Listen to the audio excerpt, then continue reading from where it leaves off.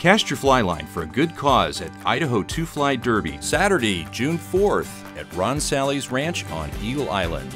Catch all you can in the one day contest on a 100 acre private lake stocked with hefty bass and cagey trout.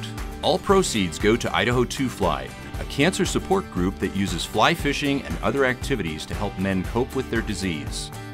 Register online at idaho2fly.org and cast a line for hope.